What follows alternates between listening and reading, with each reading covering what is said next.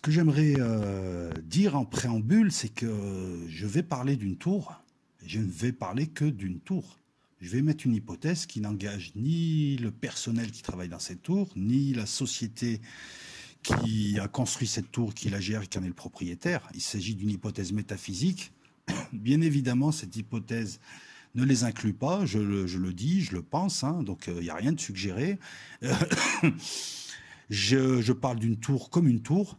Euh, je ne pense pas que ni le proprio, ni l'architecte, ni les gens qui sont à l'intérieur ont conscience de, ce que je peux donner comme hypothèse. Et bien évidemment, cette hypothèse-là, qui est métaphysique, parle de manipulation sur un plan, un plan supérieur. Voilà. Donc je tenais quand même à le préciser. Hein. je ne vise pas la CMA euh, CGM. Alors, je vais quand même faire une présentation objective de la tour, parce que ça me semble important. Je vous demande un instant. C'est une tour qui a. Le propriétaire a eu l'idée de cette tour en 2004, je crois. Le cabinet euh, d'architectes qui s'en est occupé a démarré là. La tour a été livrée en 2011. Elle, euh, c'est quand même une prouesse technique, cette tour. Hein. Allez voir un petit peu hein, sur Internet comment elle a été construite. 64 000 mètres euh, carrés, un peu moins de 3 000 employés, 33 étages, ça c'est intéressant. mais ce qui est plus intéressant, c'est surtout ses formes, ses couleurs. Et bien évidemment, voilà, les, gens qui ont fait ça n'ont pas imaginé euh, tout ce que je vais dire là. Ils n'y sont pour rien, ils ne sont pas visés. Voilà, je ne tiens pas à, ce qu'on pense qu'eux ou à ce que ces gens-là voient ça comme eux. Euh, la CMA, CGM, c'est la troisième société mondiale de porte-conteneurs. Elle appartient au frère Saadé. Il me semble que son propriétaire actuel, il me semble que c'est Jacques Saadé, hein, sous réserve de rectification. Voilà, c'est tout ce que je peux dire d'objectif. Euh, et donc voilà. Je mettrai quand même des photos des formes de la tour, hein, puisque alors pour la petite histoire, euh, le maire n'a pas voulu que la tour dépasse euh, Notre-Dame de la Garde, qui est à 150 mètres d'altitude en hauteur sur la colline, qui a vu surtout Marseille. Donc la tour fait 147 mètres. La deuxième qui a été construite par la ville cette fois, qui n'appartient pas à la, à la CMA CGM, euh, pareil, n'est pas plus grand. Donc voilà, c'est marrant. Hein, euh, et moi, de suite, euh, j'ai opposé les deux, hein, parce que l'une détonne quand même. Elle détonne de par ses couleurs, elle détonne de par sa forme, elle détonne. Elle détonne cette tour. Voilà, voilà.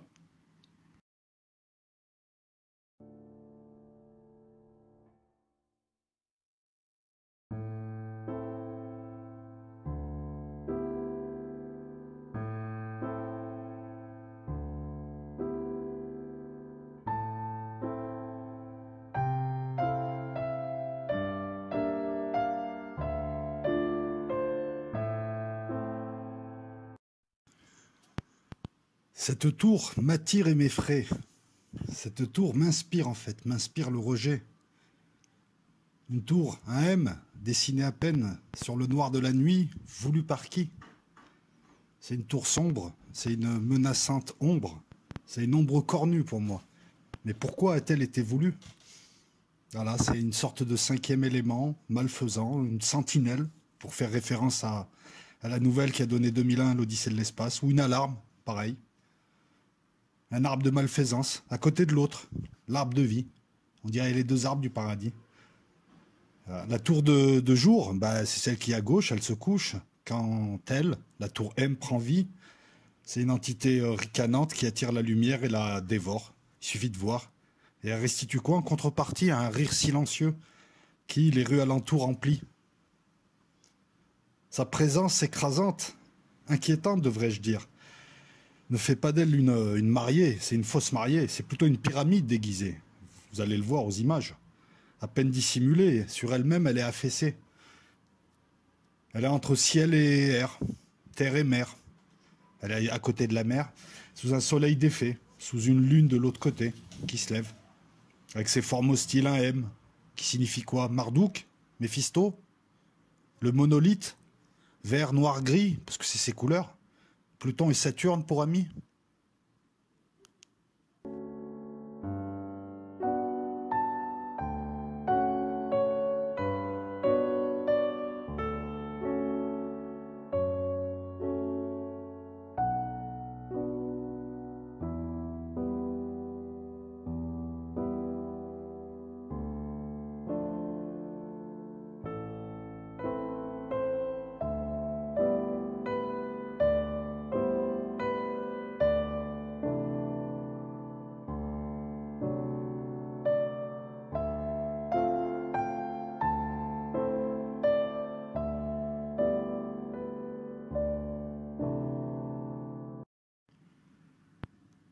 Une tour plus une tour, ça donne combien? Ça donne 11, non?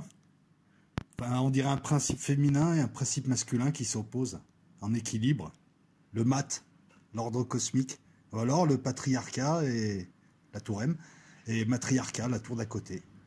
La seconde est plus familière quand même, hein. elle est amicale, elle est maternelle, elle est là pour contrebalancer la première.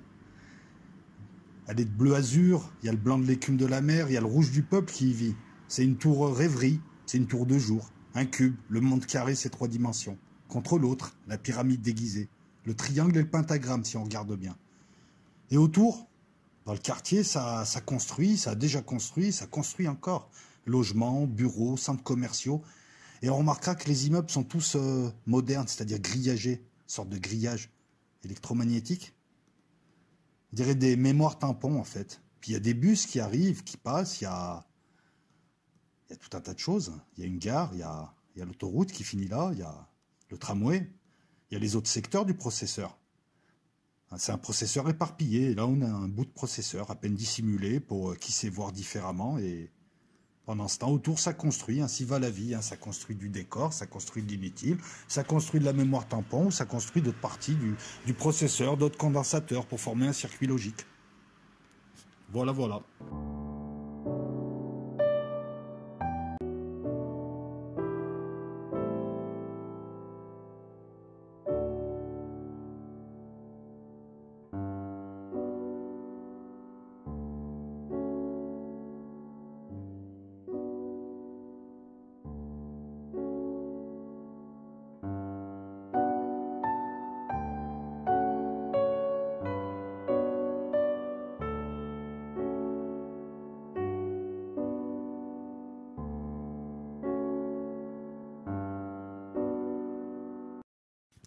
Voir différemment.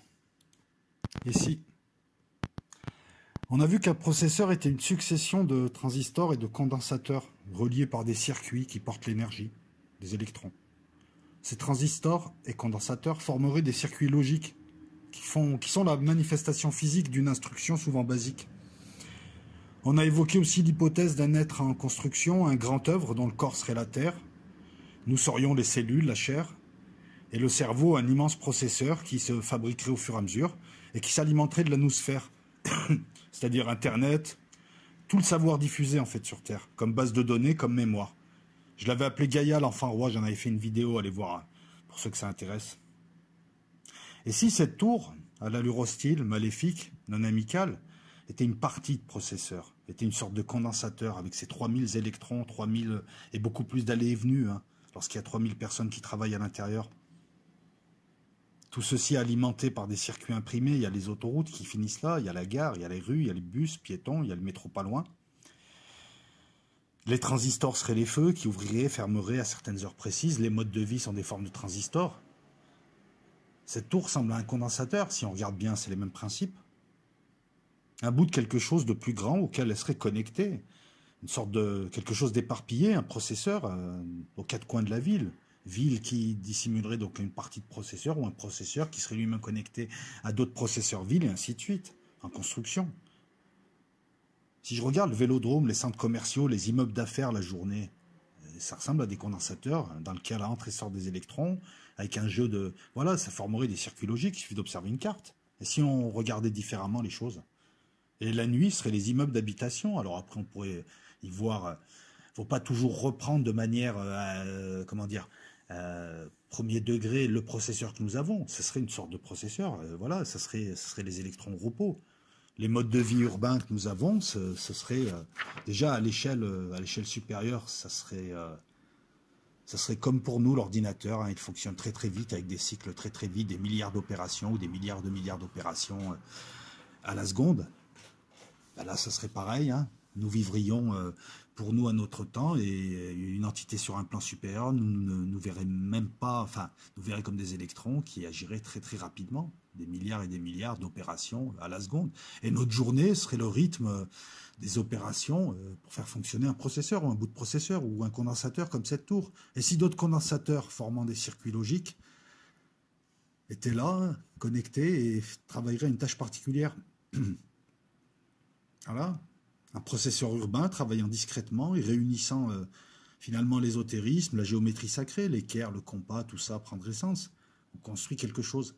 L'ésotérisme et tout ce qui est un rapport, hein, c'est c'est vaste. Les religions, la métaphysique, le grand œuvre des francs-maçons, ce serait la construction de quelque chose, un être. On rejoindrait Teilhard du Chardin.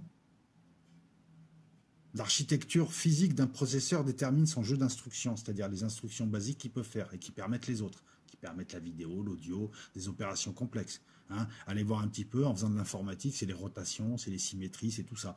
Euh, il suffit de. Moi, j'invite les curieux à observer les plans de ville. Hein.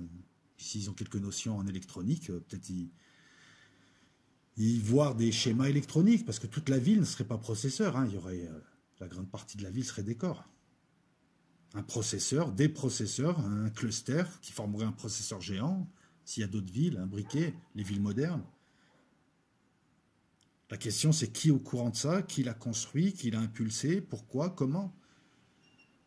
En même temps, on a aussi la réponse à l'explication, euh, enfin l'explication au problème, mais pourquoi ils ont construit des faits, des refaits, construit, ils ont, ils ont mis des nations, ils détruisent des nations, ils ont mis des peuples, ils détruisent des peuples, ainsi de suite. C'était peut-être pour nous emmener par étapes à un certain mode de vie et arriver à nous contrôler totalement dans des milieux urbains, de manière à faire tourner quelque chose. Et au-delà, pour faire, ben, au-delà, c'est les questions classiques. Hein, pour faire tourner quoi et pour qui? Pour euh, quelque chose dans l'univers, quelque chose hors de l'univers, hors d'une dimension, un ordinateur, une simulation? Là, on est beaucoup plus proche de la théorie hardware. On rentre dedans. Théorie hardware qui, euh, on a vu avec la théorie euh, software le rêve de Dieu, simulation, nous serions une session de logiciel. Là, on parle de tout ce qui est physique maintenant, c'est-à-dire il y a plusieurs branches. Hein. Il y aurait par exemple que l'univers euh, réel dans lequel nous vivons, ben, il est bien réel. Mais il travaillerait que la Terre serait un processeur avec ses couches de protection, le Soleil au centre qui l'alimente en énergie. La première couche de protection, ce sont les rocheuses autour d'elle, hein, la ceinture d'astéroïdes. La seconde couche, ce sont les gazeuses. Entre, tu as, euh, oui, les gazeuses, Jupiter par exemple, qui attire de par sa gravité euh, tout ce qui pourrait détruire la Terre et les électrons. Au-delà, tu as les vides interstellaires. Entre, tu as, euh, je crois, un nuage d'Ort. Donc il y a des protections avec une terre processeur. C'est ça la théorie hardware. Après, il y a des multiples branches. Pour communiquer, les pyramides, les dômes, euh, les dômes de prière, les églises, les mosquées, tout ça, quand elles sont faites architecturellement. Et voilà aussi un truc qu'on voit, c'est que beaucoup d'églises et beaucoup de mosquées ne sont pas construites comme elles devraient, puisque le but au départ c'était de réunir ces énergies de prière qui montent, qui sont recueillies par un dôme ou un pic et qui peut-être partent ailleurs. Euh, nous, on travaille bien avec le Wi-Fi. Voilà, ce processeur, il communique ailleurs. Parce qu'un processeur, ça fait tourner quelque chose, quelque part, pour des gens. Ça fait tourner quoi? L'univers dans lequel on vit, l'illusion dans laquelle on vit, ferait tourner. Donc nous serions à la fois personnage d'une illusion et l'électron qui ferait tourner cette illusion dans un processeur. C'est un peu le serpent qui se mord la queue au gros bourros. Une autre réalité, l'ordinateur, notre illusion, enfin bon, il y a tout un tas de questions et on va les aborder au fur et à mesure. Et si,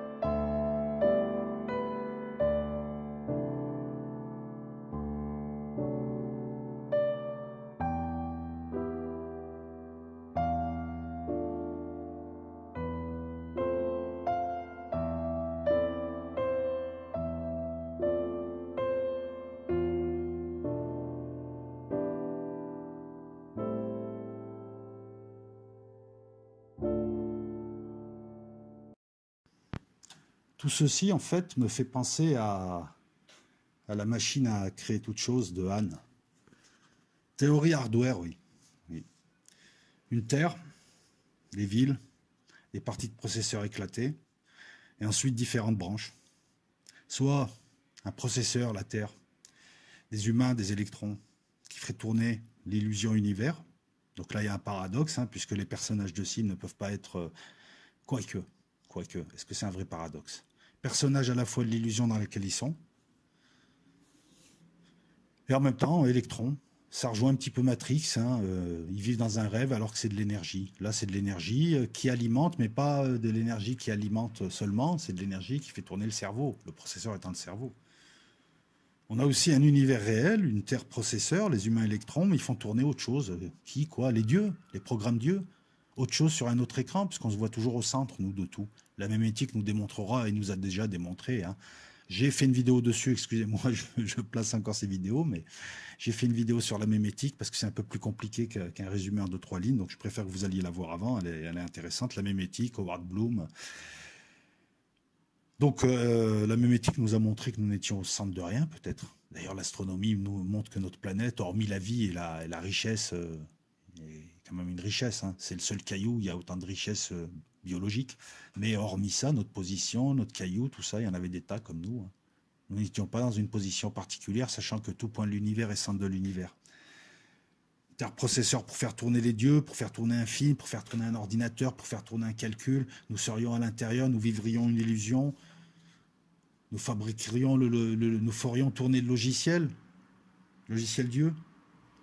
Moi, ce que je vous invite à faire, c'est surtout euh, voir les choses différemment, voir qu'elles se ressemblent. C'est un peu comme les mathématiques, hein, on réunit des choses diverses sous, sous un même vocable, hein, on leur retrouve des liens. Voir les villes différemment. Voir les villes différemment. Et on va aborder au fur et à mesure là, la théorie hardware, euh, parce qu'elle est, elle est intéressante. Hein, donc, euh, trois, trois théories, trois visions de l'univers, trois visions de notre nature. La software, on en a suffisamment parlé. La hardware, on entre dedans par le biais de cette vidéo une véritable interrogation. Et puis la même éthique, on reviendra dessus, parce que c'est quand même assez intéressant. Elle peut être à la fois une théorie complète ou une sous-version des deux autres théories. Voilà. Voir les choses différemment. J'attends vos commentaires.